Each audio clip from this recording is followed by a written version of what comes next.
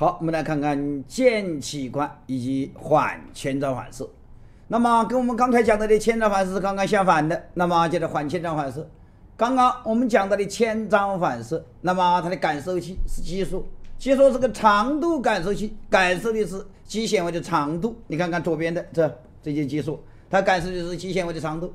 它的传入神经是一 A 类、二类是纤维。那么它传到的是脊髓前角的运动阿尔法运动细呃呃前 前角的运动细胞，叫阿尔法运动神经元。那么对阿尔法运动神经元起着兴奋作用。当它兴奋之后，那么引起缩外肌的收缩，这就牵张反射。那么腱器官引起的缓牵张反射，它刚刚跟它相反。腱器官，大家看看右边的，这就是腱器官，这整个的这一个是什么这腱器官所在的部位。所以，那么这右边的是腱器官，左边的哎是肌束。所以大家看看，腱器官它是个骨骼肌的张力感受器，肌束呢是长度感受器。所以一个感受的是肌纤维的长度，一个感受的是肌纤维的哎张力，两者两者是不一样的，两个感受都不一样。那么腱器官分布在哪儿？腱器官分布在这肌腱的胶原纤维之间。那么与缩外肌是串联的。那么刚才我们说了，这个肌束呢跟缩内肌串联，那么腱器官呢跟说外肌串联，说两个两点不一样。那么传入纤维也不一样。我们肌束的传入纤维是一 A 类或二类纤维，那么腱器官的传入纤维呢是一 B 类纤维，那么它的也这个效应也是不一样的。那么经过腱器官一 B 类传为传传入之后，那么它传出的冲动是同一肌肉的阿尔法运动神经元起抑制作用，所以肌束兴奋之后。那么它的兴奋是使阿尔法运动神经元起兴奋作用，腱器官兴奋之后呢，传入纤维产生的冲动是传产产生的呃作用是使阿尔法运动神经元产生抑制效应，所以这两个两个是不一样的，因此一个肌束产生的是牵张反射，那么当腱器官兴奋的时候产生的是缓牵张反射，所以两个两个是刚刚相反的，所以。为什么相反？机体都有个什么协调作用，所以你一个引起肌肉收缩，我肯定一个引起不让你不收缩，两者两者才达到个协调嘛。哎，所以它就什么肌呃，就人体就会达到这个协调性衡的运动嘛。所以大家看看，当我的这个肌肉受到牵拉，你比如说我给你这个手牵拉一下，那么你受牵拉的这个肌肉就会收缩，那么这就是我们跟大家所说的牵张反射。当你的手牵拉这个肌肉的力量加大，哎，你比如拼命的再拉你一下，哎，这个什么牵拉的力量加大的时候，引起的是缓牵张反射。因为你当你的牵拉的肌肉加大的时候，那么就会使你的骨骼肌的肌张力增加。那么骨骼肌的肌张力增加，这时候承接的是张力感受器，腱器官就兴奋。腱器官兴奋之后，经过一比类的纤呃呃纤维。传入到脊髓前角的运动细胞，抑制了脊骨髓前角的阿尔法运动神经元，产生抑制作用。抑制作用，大家想一想，哎，刚刚跟我们的牵张反射刚刚相反的，所以这就是抑制你的牵张反射。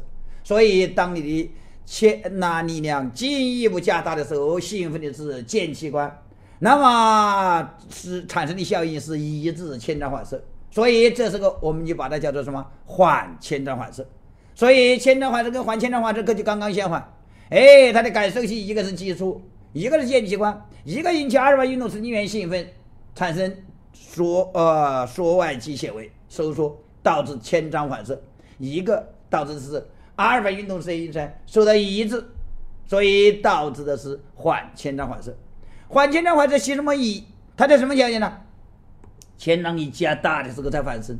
哎，刚开始小的前张力时候它不发生，所以缓前张反射的生理意义是防止前张反射过强拉伤肌肉，对肌肉具有保护作用。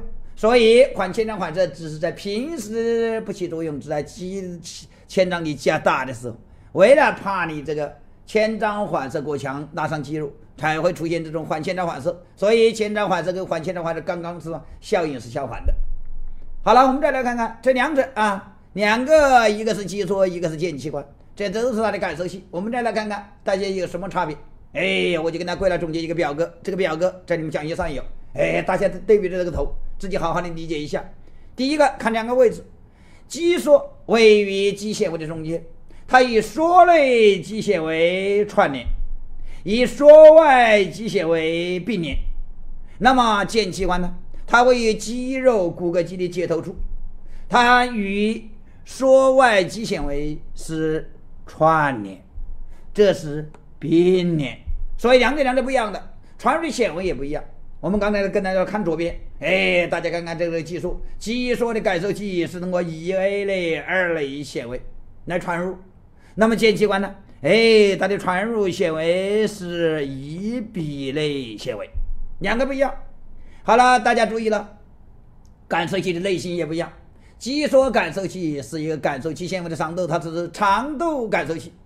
腱器官呢，感受是肌纤维的张力，是张力感受器。你比如说，我这个什么要搬手腕，你看看我搬手腕，哎，屈曲，肌张呃屈肌是不是收缩了？哎，但是你摸一摸这个什么这个肌肉硬硬的，张力也增大了。所以你看我们搬手腕，嗯，既有长度的缩小，肌缩感受器也会兴奋，也有张力的增加，哎，张力感受器。腱器官也会兴奋，所以你这样记，你都给它记住了。当然，两个的作用是相反的。哎，肌缩感受器当它兴奋的时候，传入呃脊髓前角的，那么导致阿尔法运动神经元起兴奋作用。那么腱器官呢，也是传入脊髓前角运动区运运呃脊髓前角的阿尔法运动神经，对它起抑制作用。所以这两者刚刚是相反的。好了，我们再继续看牵拉的肌肉，肌缩当它兴奋的时候。是受牵拉的肌肉开始收缩，引起牵张反射。那么腱器官它要兴奋呢，应该是牵拉的力量一定要加大，小小的力量只能兴奋激素，哎，一定要大大的力量才会引起张力变化，那么吸引腱器官兴奋。当腱器官兴奋之后，导致的是缓牵张反射。所以两者是刚刚相反。好了，我们再来看看等长收缩，等长收缩，大家看等长收缩。就是肌肉的长度是不变的，由于肌肉长度不变，哎，肌缩这个长度感受器，那么它滑入冲动变不变？当然不变。哎，等长收缩的时候，肌肉长度不变，但是张力增加。由于张力增加，腱器官是感受的是张力感受器，它感受是张力，所以它的传冲动传入冲动增加。好了，等张收缩，等张收缩就是张力不变。哎，由于张力不变，所以腱器官的它是个张力感受器，所以它传入冲动不变。好了，由于张力，呃，等张收缩，哎，它什么张力不变，所以肌缩感受器传入冲动减弱。好了，被牵拉的时候呢，哎，被牵拉的时候，小一点的力力量牵拉，哎，这是个肌缩感受器传入冲动增加；大一点的力量牵拉，那么腱器官也进入腱器官，哎，传入冲动也增加。所以，哎，受牵拉的时候，这两个传入冲动都是增加。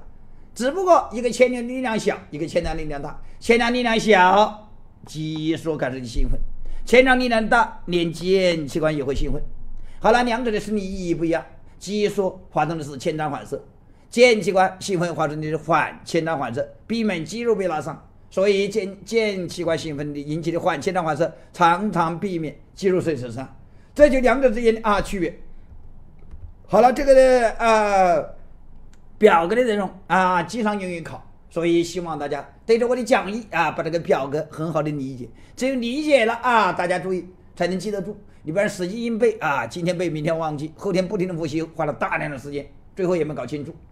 好了，我们再来看看一三年这个试题，大家再继续看。腱器官传入冲动增加所引起的效应是，大家注意，不是激素，而是腱器官。腱器官是个张力感受器，他问你传入冲动增加，哎，也就是说这个肌肉的什么？张力增加引起腱器官兴奋有什么效应？哎，有什么效应？刚刚跟我们所说的牵张呃引起缓牵张反射嘛，跟我们牵张反射的效应刚刚相反嘛。你牵张反射是兴奋同一肌肉的阿尔法运动神经元，缓制腱器官兴奋呢是抑制同一肌肉的阿尔法运动神经元。所以正确答案应该答 B，是不是？哎，就完了。好了，A、D、C、D 为什么不正确？A 对同一肌肉的伽马运动神经元起。抑制作用，伽马运动神经元起什么作用啊？哎，是调节前肌缩的牵张反射的敏感性。所以跟你这完全两码事。哎，伽马运动时间设计的是前场反射，不是反前场反射。当然你不能抑制我的伽马运动神经元，所以不答 A。好了，答案 C 是缩外接收缩，是缩外接收缩的，这是什么？阿尔法运动神经元，阿尔法运动神经元又是哪儿的兴奋呢？哎，这是激素，这是所以 C 是激素的作用。好了，是缩内肌纤维收缩，是缩内肌纤维收缩。刚才说了是伽马运动神经元，哎，兴奋增加所致，这也是前场反射，不是反前场反射。所以大家可以看到啊，呃，C、D 这都是激素的兴奋之后的作用，所以跟间气管是两码事。所以他就总是把这两者混为一谈，哎，大家火眼金睛把它找出来啊！所以这个正确答案应该答 B 啊。好了，我们再来看看节间反射。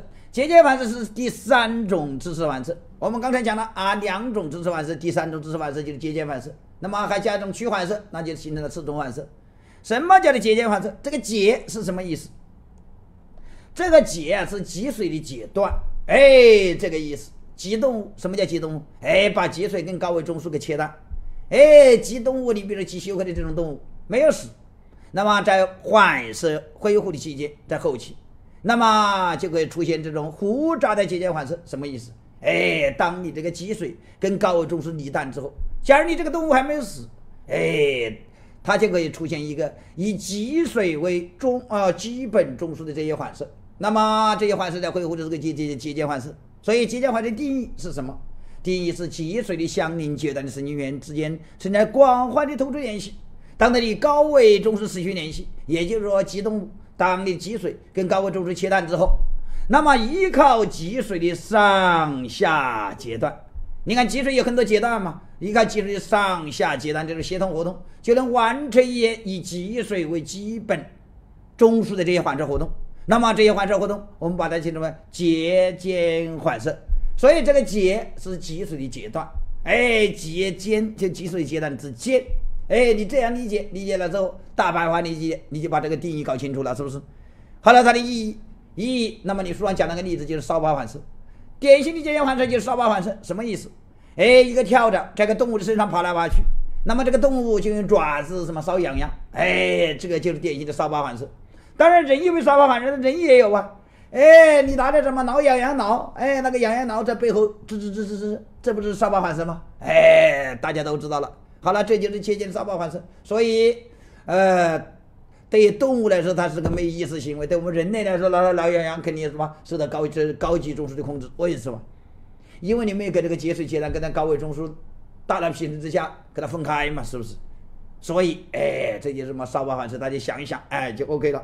这个节间反射，截至目前为止很少考到，哎，基本上没考，所以不知道他今年考不考你啊？大家了解一下就行。好了，我们刚才讲了啊，脊髓对运动支持调节。那么第二个，我们讲讲脑干对肌紧张和运动支持调节。脑干和脊髓都是在我们所有神经系统中间，它调节支持的这是什么？属于低位中枢。好，第二个注释第二点，我们就跟他讲脑干对肌紧张和啊姿势的调节。它的生理特点有什么东西？在所有的运动调控系统中，脑干位于什么高级中枢和脊髓之间的中间层次，那么起着上传上下沟通的作用，上传下达的作用。为什么？大家看看，哎，脑干大约在这个位置，是不是？下面是不是有脊髓呀？哎，有很多这种什么简单的反射，就是脊髓为中枢。那么上面呢？哎，有大脑皮层，有高级中枢。所以这个脑干，你看看怎么样啊？哎，位于上位中枢、高级中枢和下位中枢脊髓哎之间，起个上传下达的作用。所以这是它的生理特点。好了，它对肌紧张和支持都有调节作用。在肌紧张的调节作用主要表现为在脑干网状结构中间，能够呃有抑制区。和呃异化区，什么叫抑制区？抑制你肌紧张的叫抑制区，哎，是你肌紧张更容易产生的叫异化区。所以这脑干网状结构中间就出现这两种相反的这种区域，那么叫做抑制区和异化区。等一会下一张幻灯片我跟他讲。好了，对这种肌紧张的调节，那么呃，它呃脑干常常参与，而肌紧张是维持肌知识的什么结构基础。所以，对，既然你对肌紧张能进行调节，那么对支持活动能不能调节？当然能调节。所以，脑干通过调节这个肌紧张，而肌紧张又是维持姿势的基础反射，所以对肌姿势来进行进一步调节。那么这个姿势反射，你们书上讲的两种例子，一种是状态反射，一种是缓震反射。好了，这个就是我们跟大家所说的这种姿势调节。好了，我们一个来看，首先看脑干对肌紧张的调节，然后再来看脑干对姿势的调节。我们先来看看脑干对肌紧张怎么进行调节。脑干对肌紧张进行调节，主要是脑干网状结构中间出现两个区域。一个区域是抑制肌紧张的区域，叫做什么抑制区；一个区域是加强肌紧张的区域，叫做异化区。哎，异化区就是更容易进行肌紧张。所以大家注意了，哎，这两个两个在不同的地方，那么一个小一个大，抑制区域比较小，哎，异化区域比较大，哎，所以异化区域呃这些核就比较多，抑制区域核就比较少。所以，由于抑制区域比较小，异化区域也大，平时的时候我们正常人常常以哪个为主啊？以异化区为主，所以它有一定的肌张力，所以你肌肉总有一定的张力。哎，大家都觉得肌张力调节中，这个异化区占主要部位，所以你肌化区，呃呃，肌张力总有一定张力，所以标志你肌肉张力。你不说一个人死了，你看看一摸还有没肌张力？没有肌张力，你摸哪儿都软软的，哎，根本上没有肌张力。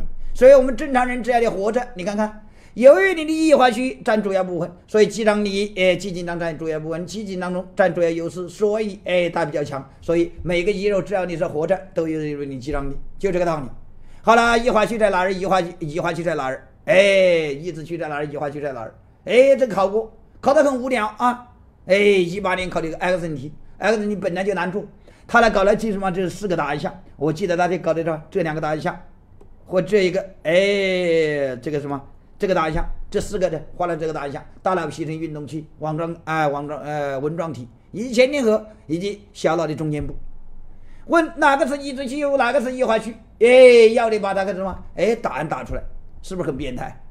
本来这种什么 X 题你难做，他搞这种东西你不可能背到。你哪个你不是搞这个生理学的，不教生理学，哪个跟这个东西记得住？我告诉你，就是今年考了这个题。我明年再考这个题，我估计你还是打不住，是不是？哎，你不可能把它记住嘛。所以像这种死记硬背的题目变态，它很容易丢分。所以像这种东西大家丢分啊，这不能怪大家，只能说怪老师出题目投的太变态。你这种东西你不可能去一个个就都给它背下来嘛，是不是？所以像这种东西，大家考到了容易丢分。好，哪些是抑制区？脑干网状结构的腹内侧部分，腹内侧部分是抑制区。那么背外侧部分呢？哎，脑干网的背外侧部分，这是异化区。好了，其他的抑制区包括皮层运动区、纹状体以及小呃小脑前叶的隐部。大家注意啊，隐部隐部就中间，哎哎哎隐隐哎隐部就是说呃那个什么狭窄的那个道。我们将来讲小脑的运动调节这个这样讲。那么这就是说抑制区。好了，小脑的两侧和中间部，那么这是什么异化区？还包括前庭核、下丘脑、丘脑中线核，哎，中脑的中央位置、脑桥背干，你记得住吗？记不住。你要我记，你何老师你记不记得住？我也记不住。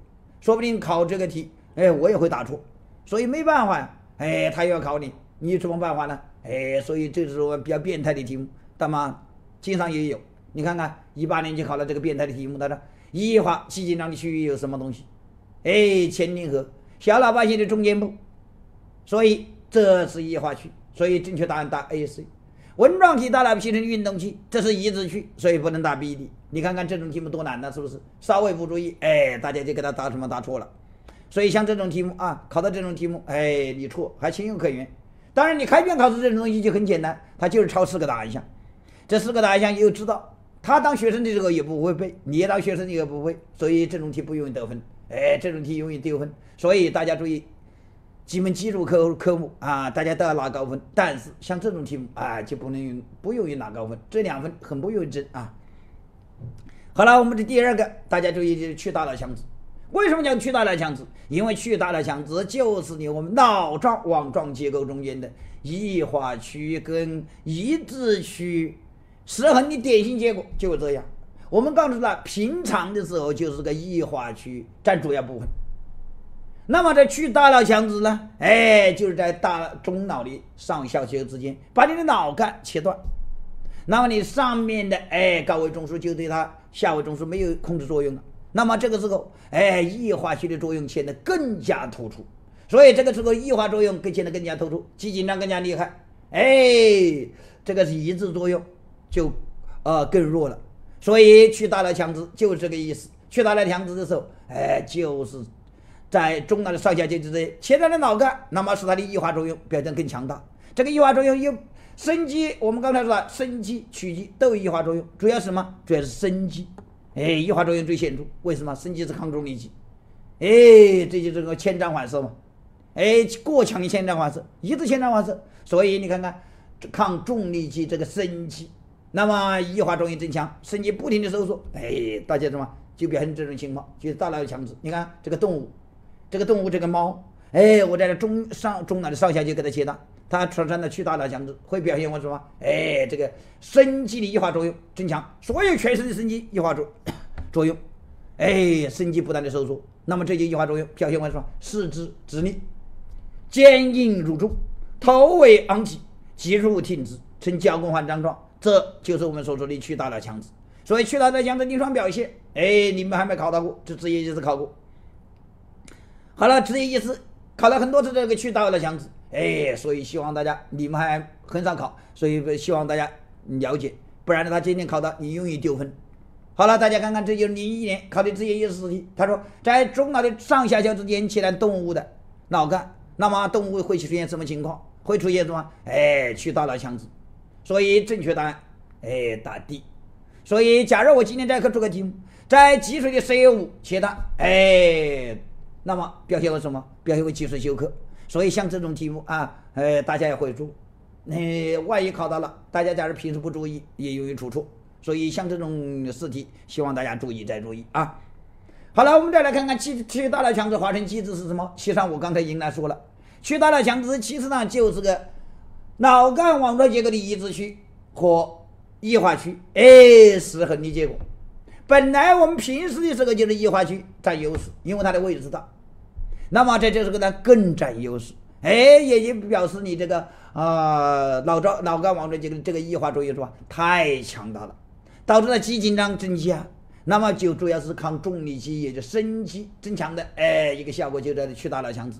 所以去大脑强直，总而言之，就是因为移植区跟异化区失调了，哎，脑干网状结构这个脑干网状结构就是我们这个蓝颜色的地方，脑干网状结构这个，呃，异化区跟抑制区这个功能失调了。我们平常的这个正常人，异化区占优势，哎，只占一点点优势，这时候呢，大量的占优势，那么在这个时候就会出现巨大的强直，所以在你切断它的中脑上下丘之后，那么它的抑呃抑制区就失去了高位中心的实际作用，抑制作用就会下降，相应的。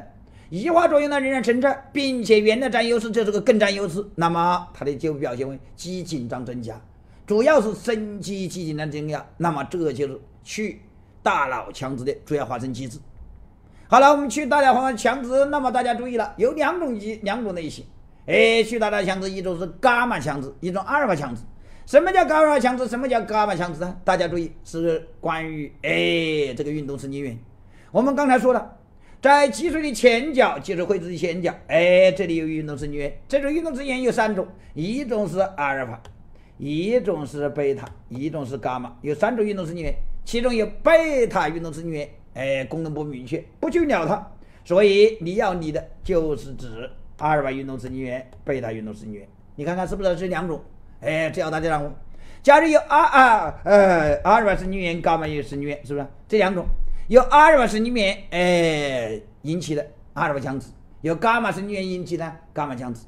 哎，大家看看，哎，这个人假如这个脊髓脊髓灰质的前角的伽马运动神经元，除了这个脊髓哎这儿之外，还是什么高位中枢的控制？你看看高位中枢，你比如说这高位中枢的这个伽马运动神经元，肯定有个什么控制作用。平时这个哎不让你表现出来，当他。你生命疾病的时候呢，哎，高位中枢的这种下行抑制作用给伽马神经的下行抑制作用，那么就会表现出来。它会首先提，哎，提高你伽马运动神经的活动，因为这个抑制作用不在了嘛，在病理情况下，那么伽马运动神经的活动就会增强。那么伽马运动神经是干什么用的？哎，调节激素的敏，呃，对前端环生敏感性作用的。所以当你伽马运动成员活动增强的时候，那么肌束对前掌环时就更敏感，敏感性更高，传出的冲动就会增加，传出的冲动增加，哎，当然转日你的阿尔法运动神经元呢就更兴奋。阿尔法运动神经元一兴奋，那么它传出的结果就导致缩外肌，就是大的肌肉，这个缩外肌收缩，哎，肌张力就增高，出现了什么连续不断的收缩的这个就是强直，所以这是又因为阿尔法运动神经元肌兴奋性增高导致的这种强直，因此我们把它叫做什么伽马强直。所以我们刚才讲到的区域大脑强直就是个典型的伽马强直，所以经典的区域大脑强直就属于伽马强直。好了，第二个原因是阿尔法强直，顾名思义，就是阿尔法运动神经元兴奋性增强了。你比如说，高位中枢的下行作用直接作用到阿尔法运动神经元上面。平常的时候，哎，正常的这个是抑制你阿尔法运动神经元哎的作用，就管理你嘛，控制你嘛。那么这时候，哎，假如生病了，那么这个时候呢，阿尔法运动神经元的兴奋性增高，阿尔法运动神经元兴奋性增高，那么就是支配哪一个缩外肌，缩外肌就拼命的收缩。拼命的收缩的这个这个肌肌紧张出现的强直，我们叫阿尔法强直。所以，哎，这个区域大脑强直有两种类型，一种是阿伽马运动神经元兴奋性增高引起的强直，我们叫伽马强直；一种是阿尔法运动神经元，哎，兴奋性增高引起强直，我们叫做阿尔法强直。所以，这都是跟什么有关系？跟脊髓前角的运动细胞，哎，阿尔法运动神经元、伽马运动神经有关。这就是我们以这个啊不同的机制，那么把区域大脑强直分为两种类型，一种是阿尔法强直，一种是伽马强直。所以这两种类型，哎，大家要给它区分开来。好了，第四个就是去皮层强直。我们刚才讲了去大脑强直，哎，去大脑强直就是这右边的这个图，哎，这个孩子啊，这几个图，这里面教材上一这个图，哎，我给他画下来了，大家看看，哎，去大脑强直，你看看，去大脑强直跟这个去皮层强直是不一样的，你看看去大脑强直。哎，你看看上肢、下肢都有强直，是不是？最大的特点就是上下肢均强直。哎，但是我们去皮层强直呢？大家看看，不同啊，常常是上肢强直，并且跟头部的姿势有关系。所以去皮层强直常常有三种类型。第一种类型，哎，将你仰卧位，头部支持正常的时候，哎，它表现为上肢半曲。你看看上肢两个屈曲在一起，哎，手这样。抱着，这就叫做什么？哎，呃，第一种方式。第二种方式，当头部转动的时候，你看是对称性的。假如这个孩子，假如是曲皮层强直，我向右转，那么我的左手就会什么？哎哎，去强直，左上肢强直。当然了，我假如向左左偏呢，哎，右手要坚直。你看看这偏的这个头跟那个强直这个手，你看看，哎，两边两边是刚刚交叉的，是不是？所以当你转动头部的这个上肢的姿势。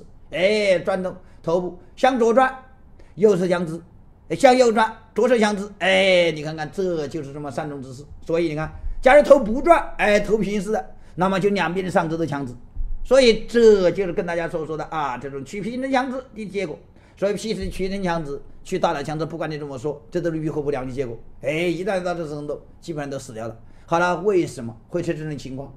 去皮层强直。它是怎么产生的？是动物在大脑皮层或皮层之下切断，那么皮层在切断之后，神经的肌张力就会抗击，表现为下肢肌张力强直，上肢呈半屈状态，这就是皮去皮层僵直。所以皮去皮层僵直我也可以考你，我说去皮层强直，那么这种动物在哪个地方切断的？它是什么？皮层或皮层下，哎，这里给大家切断了，叫做去皮层僵直。好，是你的大脑皮层跟皮层之间失去了联系，哎，就会出现。下肢伸肌的强直和上肢的半屈状态，所以下肢伸肌强直加上肢的半屈状态。好，这个特殊类型，那么大家知道，人类啊不可能拿你做实验，人类往往是什么？哎，病变的时候出现这种症状，我才知道。你看蝶胺上的囊肿，那么就会导致去皮的样子。所以我要跟大家说嘛，夏天哪种情况出现什么去皮的样子，那么就第二上的囊肿。哎，这就我们人类。人类不可能给他什么大脑皮层皮层之下起的，那你不是杀人呐？所以人类只在有疾病的时候，自然疾病得了过之后来观察，出现这种去皮这样子这种临床表现，你才知道。好了，这个就是我们跟大家说说的去皮层僵直啊。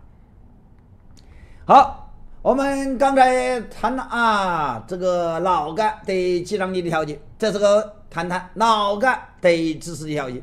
脑干对姿势调节，截至目前为止还没考到过。哎，大家看看，首先是脑干，下面有脊髓，上面有高位中枢。那么脑干对姿势进行怎么进行调节？脑干对姿势调节主要是什么？肌张力调节脑干的肌对肌张力的调节，来保持它调节它的姿势。那么这种姿势也反射，也包括两种反射类型。第一种姿势反射就是状态反射，第二种姿势反射缓缓震反射。这两个截止目前为止都没考到，不知道今年考不考你？哎，了解一下，什么叫状态反射？是指人的头部在空间位置发生改变。你比如说，我保证一下，人的头部在空间位置发生改变的时候，或者是头部和躯干的相对位置发生改变，哎，反射性的引起的躯干的肌肉紧张性的呃状态，那么这就是我们说的状态反射。这种状态还是常常在低位脑干的整合下完成的，所以，哎，这就是说脑干对姿势调节作用，状态反射。第二个是缓震换色，缓震换色我们常常拿猫来做实验，什么意思？哎，也就是这个猫，你比如说我从二十楼上面把这个猫啊给扔下去，不管这个猫扔下去的这个体位是什么样，但是它着地的时候都能把这个身体换过来，四肢老着地。哎，最后做实验就发现这个规律。也就是说，我这个把这个猫啊四脚朝天，我从这二十楼上面丢下去，那么它的接触地的瞬间，它是都四个四个脚啊，这是朝朝下的。哎，这就拿这种动物做实验，这叫欢震缓射。所以正常的动物一般保持站姿姿势，这就哎带哎这就是什么欢震缓射。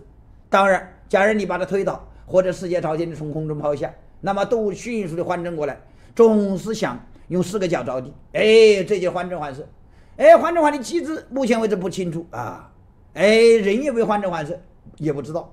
你说人我要跳楼，我跳楼的时候本来是什么头着地，哎，我一下子像个像个潜泳一样一猛子砸下去，哎，但是不知道他落地的瞬间有没有是什么脚两个脚啊朝地，因为人是直立行走的动物嘛，它有两个脚朝地，不知道有没有？哎，人有没有缓震缓射？哎，不知道。但是在动物研究的过程中，动物实验研究过程中发现这种规律啊。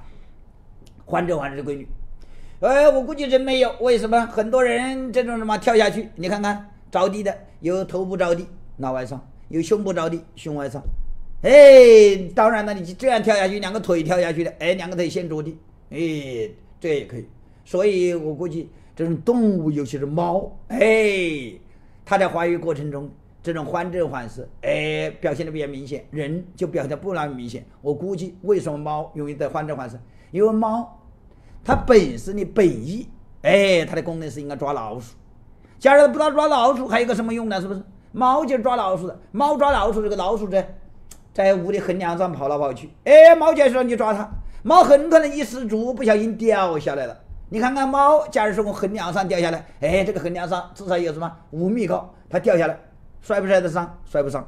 哎，你看农村里喂了很多猫，猫从那五五六米的高空中摔下来，摔不伤。你要人从五六米的摔下来，你的体重还比那个呃体长比他高，哎，这个一摔那儿骨折了，这里也什么外伤了，所以他没外伤，他能摔不摔？为什么？他就是缓震缓射。你即使在抓猫的过程中，你不小心四脚朝天，但是它可以有这缓震缓射就可以保护它。我估计起这个作用，因为动物在发育的过程中总是跟它的功能相互适应的，所以人没有抓老鼠不会在空间中进行，所以就没有这种缓震缓射。但是动物啊，尤其是猫。有人缓震缓射，所以做缓震缓射的时候，常常用的动物是吗？是猫。好了，我们再继续看大脑皮层对运动的调节作用。我们刚才讲了脊髓对运动的调节作用，也讲了第二个脑干对运动的调节作用，包括这些姿势调节。这四个呢，我们来看看大脑皮层对运动的调节作用。大脑皮层对运动调节作用，第一个大家也要知道大脑皮层区。大脑皮层的哎对运动调节作用，大家都知道运动区。哎，中央前回是运动，中央后回是感觉，所以大脑皮层运动区主要是中央前回四区，还有个什么运动前区六区，所以它就是分别是布洛卡分区的四区六区。哎，这个什么虽然没有直接考到你，但是作为一个基本知识点，你应该知道。好了，这主要的运动区，中央前回、中央运动前区，也就布尔卡分区的四六区。好了，还辅助运动区，辅助运动区在哪儿？在两个大脑半球的内侧面。哎，扣台会议上的地方，哎，这就是辅助运动区。辅助运动区从来也没有考到过，所以大家了解一下就行。好了，大家看看这示意图，看这个黄颜色中央纤维是运动，哎，这就运动区。哎，这个什么蓝颜色的这两条，哎，这是后后回是感觉，所以这中央前回，这是中央后回，是不是？中央前回是运动，中央后回是感觉，所以定位就这两个感觉区、运动区就定位在大脑皮层的这儿啊，这就是什么？大家把啊看一看这个图，帮助大家记忆啊。好了，我们第二个大家知道了，运动传输通道什么意思？我大脑皮层要划出一个指令。要你的哪个肌肉开始收缩？哎，你哪个指令划出去去，那么就是运动的传输通道，也就是要使你运动的时候，通过哪个路径传导出来？哪个路径传导出来？最常见的传导逻辑就两个逻辑，一个是皮层脊髓处，哎，大脑皮层，这个皮层就是大脑皮质，脊髓传到脊髓，还有一个是什么？皮呃皮层脑干束，哎，就是从皮层大脑皮层发出冲动传到脑干去。所以这就是我们两个最主要的传导通路，所以两个传导通路去经常考大家。哎，不过不在这儿考啊，呃，这个生理学很少考大家，在哪儿考？哎，在神神神经病学，呃，里面喜欢考。当然了，你们不考神经病学，那么就是很少考。所以这个运运动通通，截至目前为止，你们职业意识考得多，西医综合很少考，所以大家了解一下就行啊。好了，我们再来看看皮质肌皮质脊髓处什么意思？皮也就是说有大脑皮层，哎，发出的这个运动的命令，那么也就是神经冲动，经过内囊、脑干下行，到达脊髓前角的运动细胞，由脊髓前角的运动细胞发出冲动，支配骨骼肌，支持骨骼肌运动，这就是运动传导的途径。所以，经过大脑皮层的中央纤维发出的运动指令，经内囊，哎，脑干下行，经过皮质脊髓处。到达脊髓前角运动细胞，然后支配脊髓前角运动细胞的，哎，这些是这些纤维的运动。好了，这节它的传导通路，传导通路大家注意，又把它分为两种亚的类型。哎，皮层脊髓脊髓的侧束，皮层脊髓的先呃前处。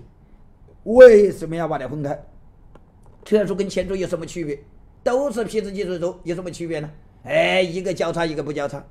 一个占百分之八十，一个占百分之二十。哎，等一会我下张画面跟大家看看图啊，大家就知道了。好了，第二个图就是皮层脑干束，也就是说大脑皮层运动系中央纤维发出的指令。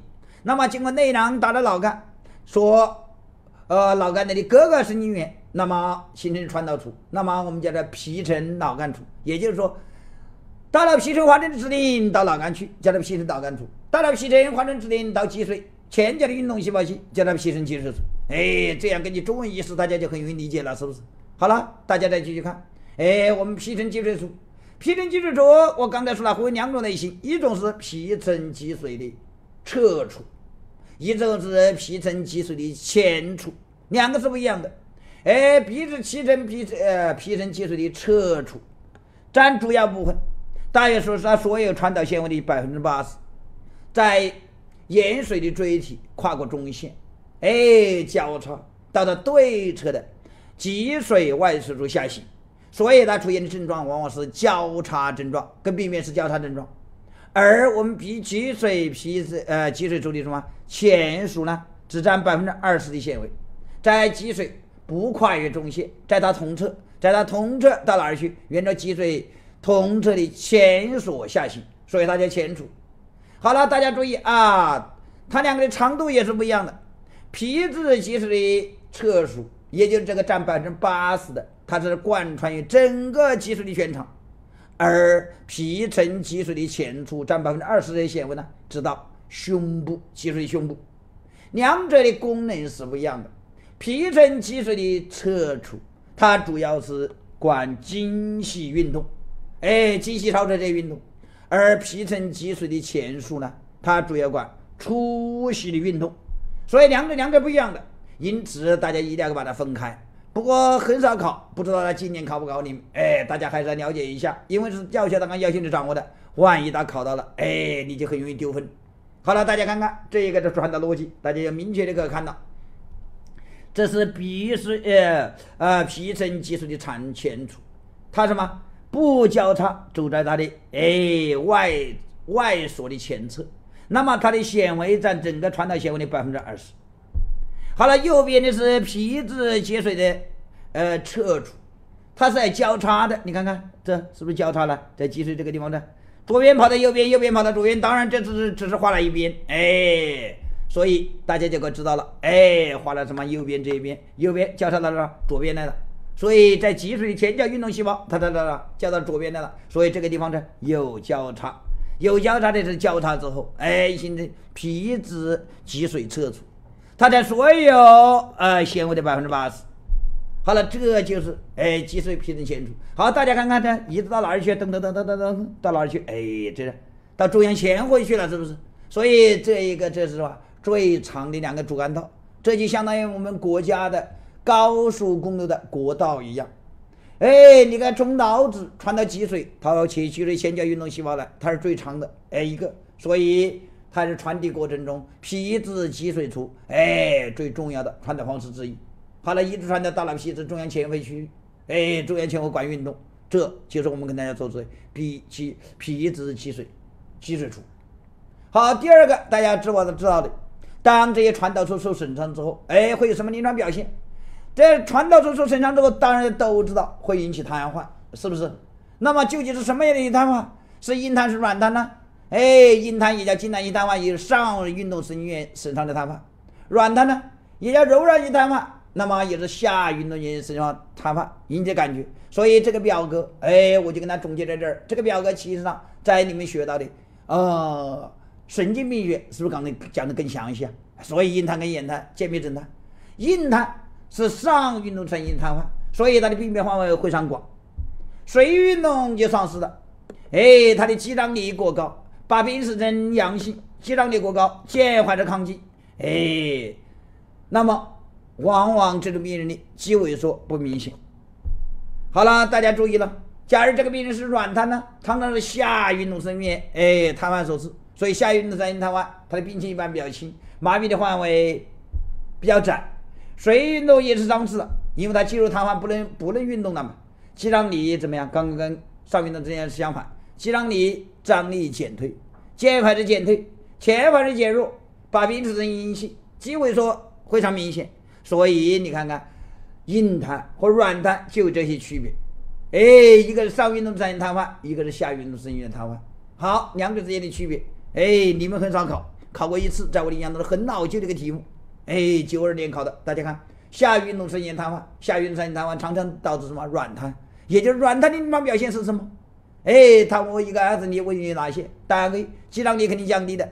减呃呃减缓式，大家注意，这是减缓式啊，减缓式肯定减弱或者消失的，是不是？肌萎缩明显，所以 A、B、C 都是它的正确答案项。把病人呃明显，把病人真下运动神经瘫痪应该是呃阴性，而不是阳性，阳性是上运动瘫痪或瘫痪的结果，所以正确答案为 A、B、C，不是 A、B、C 的选项。所以就这个鉴别表格，哎，他考过你，因为很老旧的试题了，两九二年在考。今天再考你，你会不会知道呢？哎，所以这是我们教学大纲要求他掌握的，因为比较简单嘛。估计这么多年就没考过大家，一直在九二年才考过啊。好了，考过大家八病时症，哎，八病时考过一次啊。八病时我刚才说了，是检查上运动神经元瘫痪，哎，第一个常用的体征，哎，大家都知道，拿那个棉签，哎，什么沿着这个脚脚的什么。外侧一画，哎，画这个什么半弧形，哎，我正常人，大家什么两个这脚趾头什么全去的，表现为什么？呃，足趾折曲。假如是八病之症阳性的病人呢？哎，也就是说他有上用的神经损伤的病人呢？哎，他就什么脚趾头跟大拇指头嘛塞开了，塞开了，所以这个就正常人阴性，这个就是八病之症哎阳性。好了，大家注意了，这就是我们说的哎八病之症。八病之症，大家注意了，是看我们上运动神经元是否瘫痪。那么上运动是否瘫痪？哎，看哪个传导路径受损呢？皮质脊髓处，因为在我们上运动神经元跟脊髓受联系的过程中，最最重要的传导路径最长的，相当于国家高速公路的，哎，国道的，就是皮质皮质脊髓处。所以当皮质脊髓轴损伤的时候，常常八病之症阳性。哎，这个叫它皮把病人症阳性的意义，其实尚未生命损伤，痉挛性瘫痪。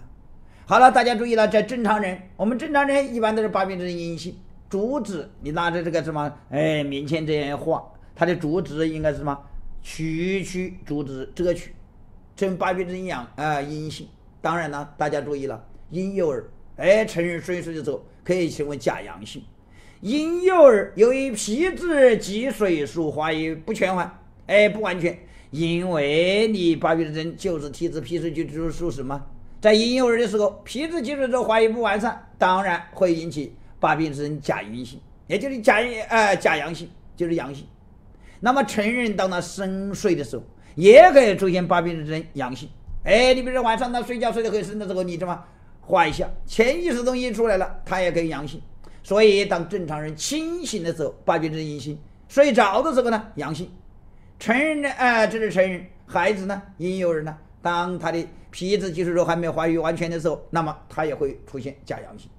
好了，这就是八比症。我们跟大家在讲曲奇化的时候讲过，哎，八比症阳性是一个特殊类型的原始的曲奇反射，是不是？哎，这它的原因就是因为积水的皮质啊受高位中枢控制。这些反射活动被抑制是不能表现出来的，所以它表现八比症阴性。当你高位中枢失神的时候，高位中枢不能够抑制积水的哎这个控制作用了，那么积水本身的特性就表现出来了，它表现为八比症阳性。哎，这就八比症阳性阴性的最主要机制就是这。好了，在一五年专门考了这个八比症，大家看一五年考的这个试题，他的八比症阳性常常抑制皮质积水测速损害的条件是什么？就是成其实呃阳性的时候，在什么时候？哎，损呃提示这个皮质积水的损害。清醒的状态下，哎，成人在清醒的状态下，假如他阳性，常常提示皮质积水周，哎受损。好了，皮人哎，成人在熟睡的情况下，单比成人在麻醉的情况下，都把这个积水的上位中枢哎。受呃已经控制起来了，当然它可能出现皮质激素呃呃巴比症的假阳性，所以不打 B 不打 C。婴幼儿在清醒状态下，由于他呃皮质激素素没有发育完善，所以它可以表现为巴比症假阳性。所以大家可以看到 B、C、D 都可以出现巴比症什么假阳性，并不因它阳性，并不一定提示皮质激素素的损伤。只有在 A 成人清醒的状态下出现巴比症阳性，才提示皮质激素素受损，所以它的条件应该答 A。这个题出的很怪啊，哎，它叫什么？给你结果，让你找出这个条件，找这个原因。所以这种题啊，老师，哎，那那老大瓜子是绝对聪明，想出这种题目，既不超纲，哎，又让你做的难受。所以大家什么一般的考的题目都说，巴比症阳性临床意义是什么？皮质激素受损，哎，这是大家什么关心的题目。反过来，我给你皮质激素受损，然后问你巴比症阳性条件是什么？是不是？哎，这个老师出的就是相当变态了。哎，他出的很好，既不超纲，你又做不到，是不是？所以这种题目大家一定要注意。好了，我们刚才跟大家讲了啊，这个。大啊，皮质大脑皮层对知识的控制。我们再来再跟大家讲第四个，就是基呃是基底神经节对运动的控制作用。基底神经节对运动的控制作用，首先大家必须了解什么叫基底神经节，基底神经节由什么组成？大家看看啊，这个图在这个一边画的就是基底神经节。哎，这个蓝颜色地方就基底神经节，蓝颜色下方就是边缘一呃边缘系统。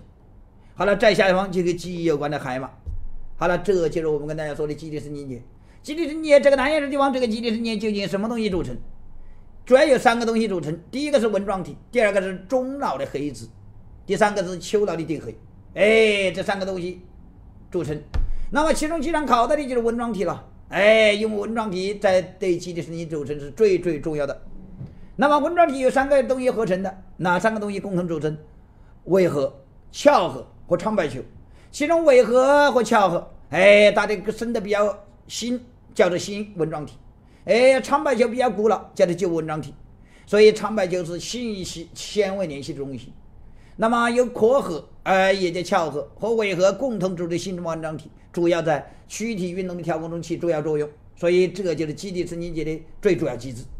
它的功能是干什么？基底神经节我刚才在那里，呃，在那个总论里面已经跟他讲了，怎么样？它主要调节运动的策划，哎，它不是大大干的事。那么大大干的是大脑皮层的联络区，那么是最最哎呃高的。那么水域运动一般起始于大脑皮层的策划区，但是一个大大要制定政策，他肯定要帮忙啊。你说我们习大大要制定什么重大的国家政策，他肯定要找我们是吧？哎，你想啊，你个总理来一下，我办公室上一个什么东西？哎，他这肯定要什么？找他的什么？哎，左右手在上面下，那么这个基底神经节就是我们大脑皮层年龄系统的哎助手，所以呢参与运动的策划，那么共同与大大一起来策划，哎，这个运动该怎么搞？那么运动程序的编程起这个作用，所以它起了大大的次要作用，在一人之下，万人之上，哎，起这个作用，这是基底神经节，这就是对运动的控制作用，它主要作用在这儿。好了，大家再来看看了，哎，基底神经节的。纤维联系，我们刚才说了，基底神经节由黑质、中来的黑质和纹状体哎组成。那么在黑质纹状体里有大量的神经纤维，这些神经纤维考了 N 多次，希望大家给它记住啊。哎，纹状体或黑质，大家看看下面的是黑质，这一部分是黑质，这一部分是纹状体。你看看，在纹状体和黑质之间有很多很多这种神经纤维，从黑质到纹状体，就是从脑中脑的黑质到纹状体。那么它主要神经纤维是多巴胺系统。哎，多巴胺系统的神经纤维就是多巴胺系统。那么在呃纹纹状体到黑质，那么是伽马氨基丁酸等系统。GABA 就是伽马氨基丁酸，这是一种抑制性神经递质。所以从黑质到纹状体是一种细分递质多巴胺系统。从纹状体到黑质，那么是伽马氨基丁酸就是抑制系统。那么在纹状体内部也有大量的哎这种纤维是属于乙酰胆碱的纤维，所以叫做 ACH 乙酰胆碱的纤维。你看看。这一个短短的这一个地方出现了什么行为啊？哎，出现了三种行为。这三种行为在考试过程中经常混在一块儿，你稍微不注意，哎，就给你搞就给你搞糊涂了。所以大家看看有什么作用？跟我们解题有作用的，就是多巴胺系统的作用。多巴胺系统，哎，从黑质化出到纹状体去，它起什么作用？哎，对这个乙酰胆碱起抑制作用，也就是这个黑质对它起什么抑制作用？大家看看。哎，这下的最主要作用，所以黑质分泌的多巴胺对乙酰胆碱纹状体的乙酰胆碱主要起抑制作用。当我黑质生产病，哎，这个黑质生产病多巴胺少了，对乙酰胆碱还有没有抑制作用？没有抑制作用，那么就会发生乙酰胆碱亢进的症状。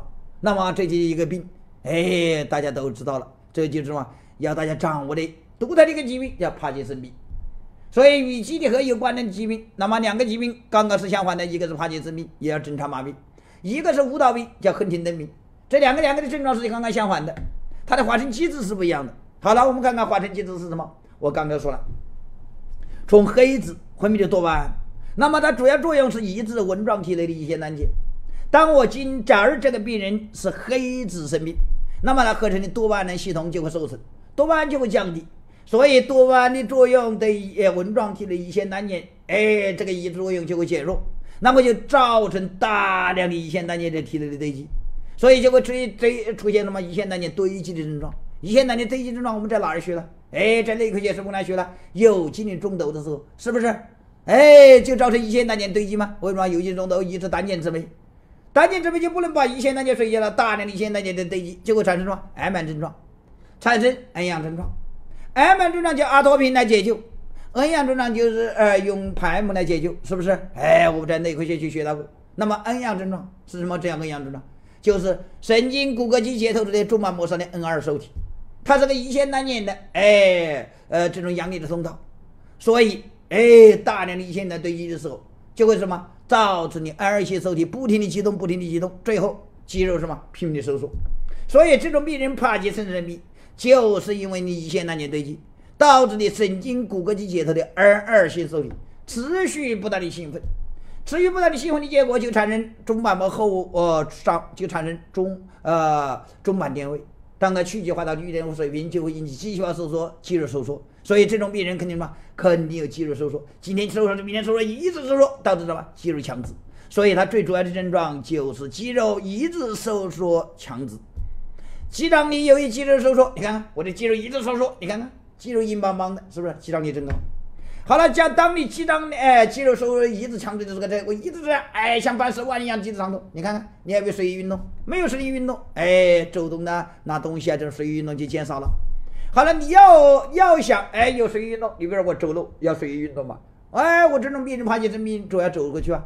所以由于你肌张力增高，哎，你看我腿部的肌张力增高，那怎么样？行动缓慢。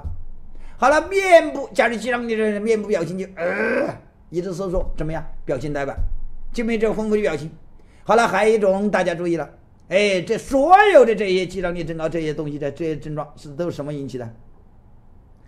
哎，都是 N 二型乙酰胆碱受体兴奋引起的。所以大家注意，都能够用 M 受体拮抗剂把它拮抗，所以都能改善它的症状。哎，用多巴胺来改善它症状，但是一个东西不能改善，叫静止性增产。什么意思？就当你静止不动的时候，这个病人嗯增产，因为它的发生机制，哎，跟我们刚才的胰腺胆碱堆积没有关系。静止性增产的发生是因为什么？丘脑外侧负荷的功能异常有关系。所以它是丘脑外侧负荷的病变引起的，所以这个静止性增产，你看看，跟刚才我们讲的胰腺胆碱堆积有无作用？没有作用。所以大家注意，我们帕金森氏病的首选药物就是左旋多巴。为什么用左旋多巴不用多巴呢？因为多巴不能通过血脑屏障，就是必须用它的多巴的前提，哎，多巴的前提左旋多巴。那么进入经血脑屏障进入脑组织之后，再代谢产生多巴胺。哎，这样补充你刚才不是多巴胺的系统受损，这个多巴胺减少吗？补充你的多巴胺，那么多巴胺就把你的乙酰胆碱的系统的这个作用就抑制了，所以就会缓解的症状。所以大家看看，哎，左旋多巴成为了帕金森氏病的特效药，首选药就是它，它可以缓解刚才我们说了，除静止性增产之外的所有症状。那么静止性症状。就不能被左旋多巴这个药物来缓解？为什么？因为它不是你乙酰胆碱堆积形成的，而是有丘脑外侧负荷功能异常有关系。哎，所以它也经常出这种题目。哎，左旋多巴不能缓解的帕金森病的症状是哪一个？你答什么？静止性增产。哎，这是它的特点。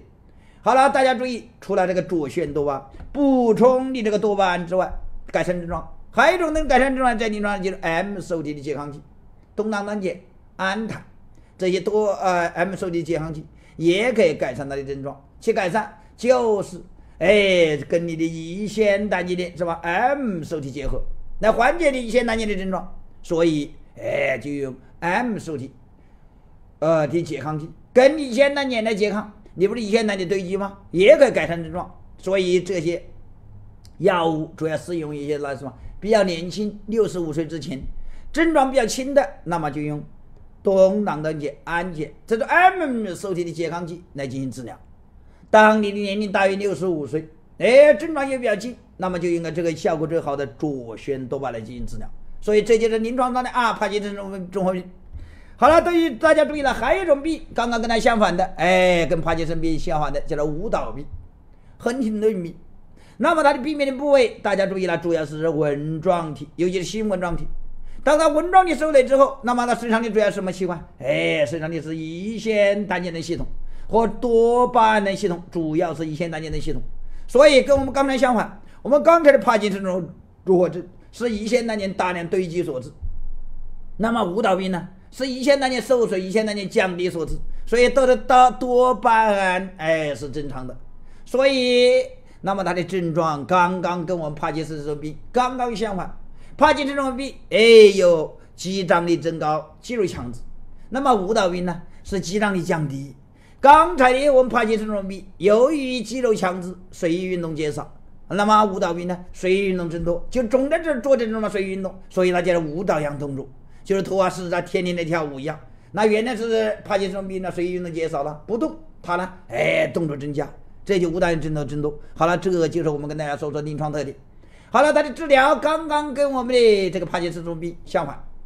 帕金森综合症由于黑质受损，它的多巴胺是下降的体内，所以要补足这种多胺，用多巴胺的前提左旋多巴胺来治疗。那么舞蹈病呢？哎，那就要耗解多巴胺。由于你是纹状体的疾病。造成你的胰腺胆碱降低，那么多巴胺在它的体内就相对增高。所以我假如用个降低哎多巴胺的药物，你比如说利血明，利血明就是要干掉你体内多巴胺，把你的多巴胺干掉了，哎，那么你这个人就不症状解除了。所以舞蹈病，哎，大家注意，治疗它的特效药物就是利血平。利血平的作用主要在体内耗竭这个中枢递质多巴胺，那么使你症状得到改善。所以这就它临床表现，哎，治疗药物这两个两个考了无数次啊，哎，怎么强调都不为过。这是大家重点知识重点，希望大家重点掌握。好了，我们再来看看零二年这个试题，这个试题比较简单，大家看，帕金森病产生的啊产生主要是下列哪个递质系统受损所致？哎，主要是黑质受损所致。所以你打哪一个？打 A 嘛，黑质文章的多巴胺系统受损，所以导致多巴胺减少，导致你乙酰胆碱相对抗击，这就是多。帕金森氏病产生的原因，所以答案为 A。好了，我们再来继续看一四年这个试题，大家再去看，用左旋多巴治疗不能缓解的帕金森氏病临床表现是什么？哎，我刚才听大家反反复复的讲了，静止性震颤，所以静止震颤是不能缓解的，因此正确答案打 C。其他的动动作缓慢、肌张力增高、面部表情呆板，都可能用多巴胺来治疗好。为什么？因为 A、B、D 这三个症状都是由什么？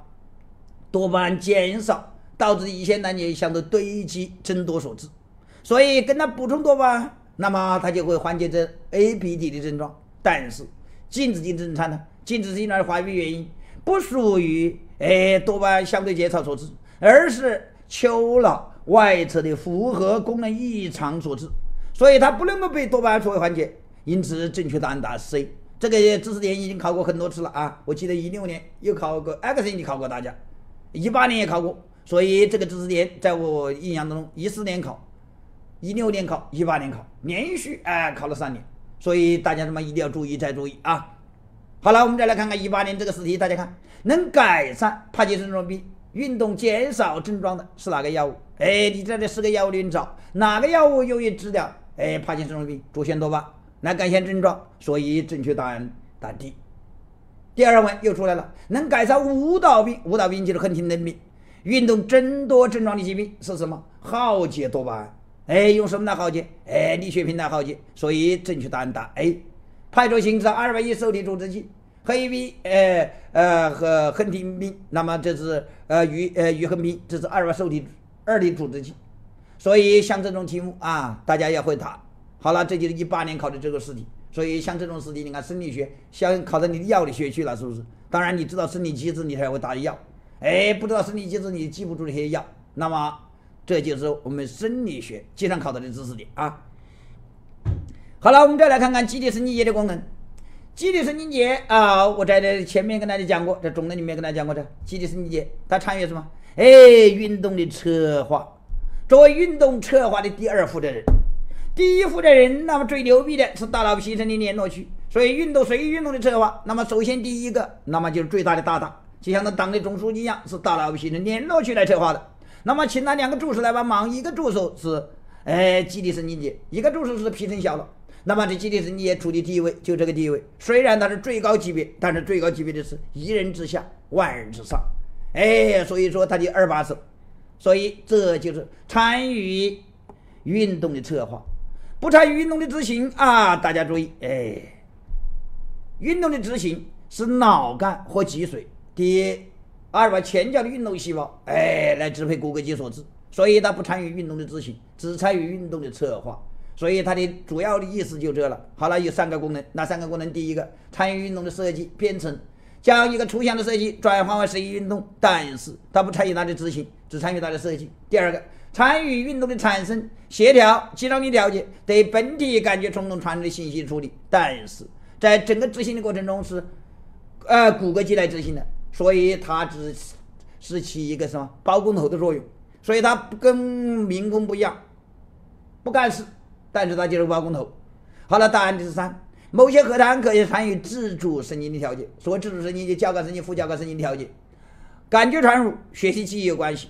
好了，这些基底神经节的作用，当然了，哎，回声动物的基底神经节在研究的时候，它不出现任何症状，为什么？也就是基底神经节的这个调节作用都被其他的哎这些调节作用可以取代，所以基底神经节在这些动物的哎知识调节过程中、肌张力调节过程中、哎动作调节过程中就不显得什么十分重要，这就这个意思啊。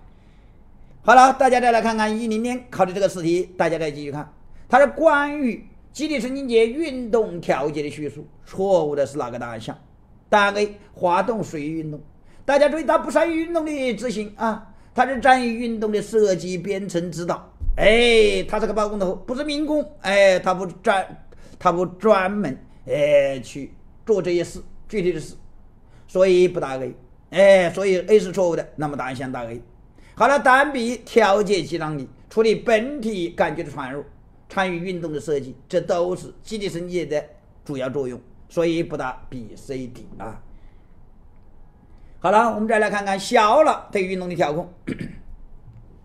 小脑对运动调控跟基底神经节有一定交叉的部分。哎，为什么呢？哎，小脑的皮层小脑和基底神经都参与运动的什么？哎，策划。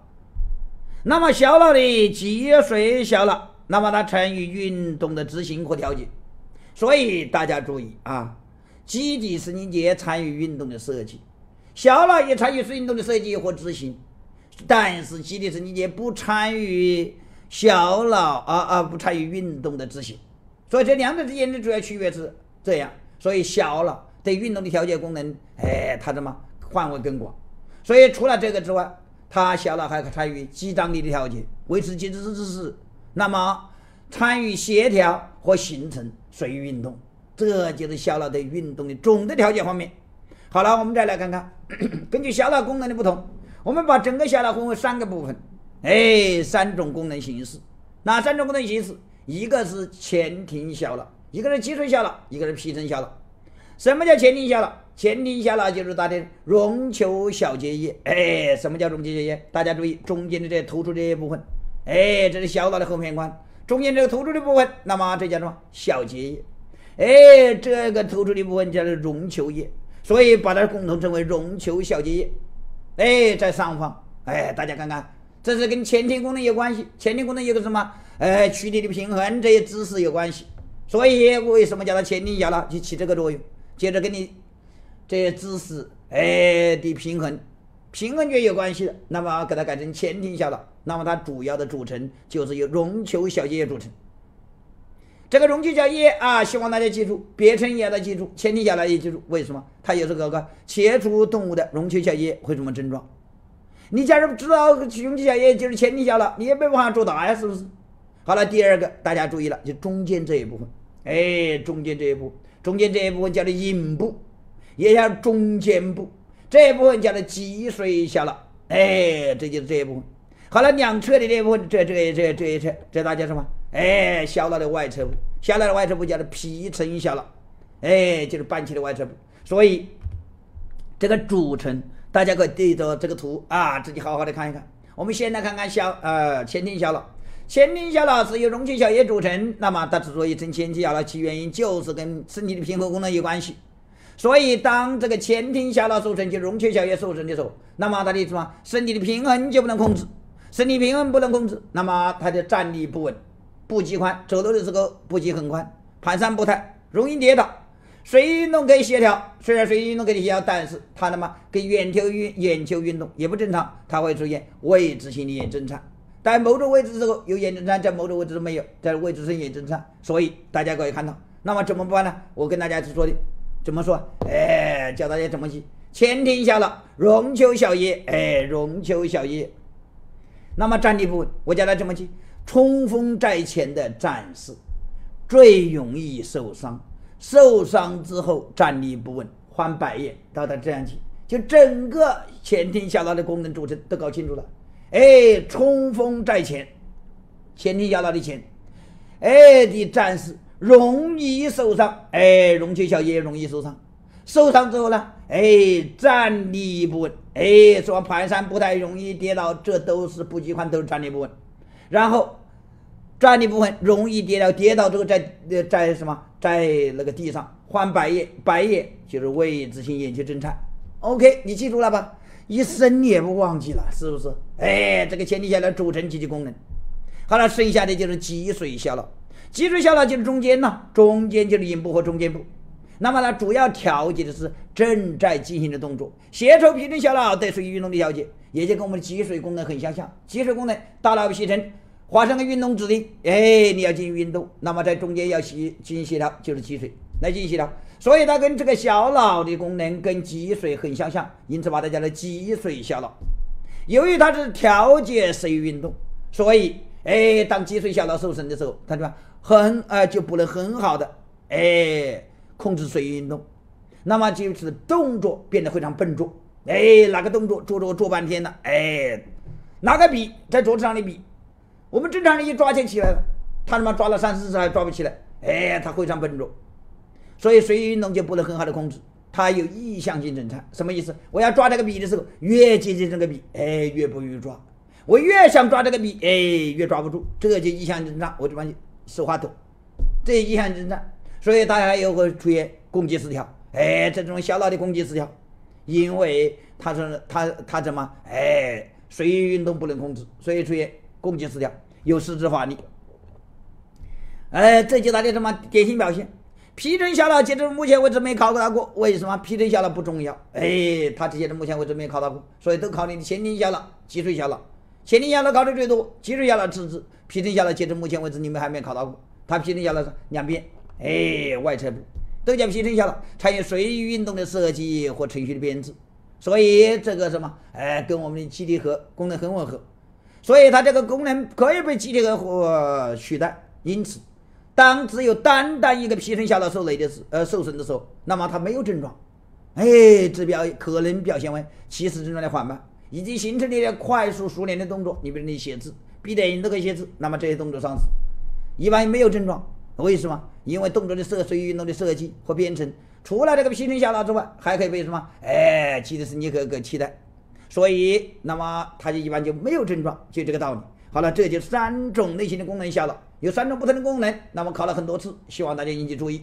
好了，各大家看，零八年这个试题，大家看，切除动物的前庭小脑之后，前庭小脑就是绒球小结节。那么动物将有什么表现？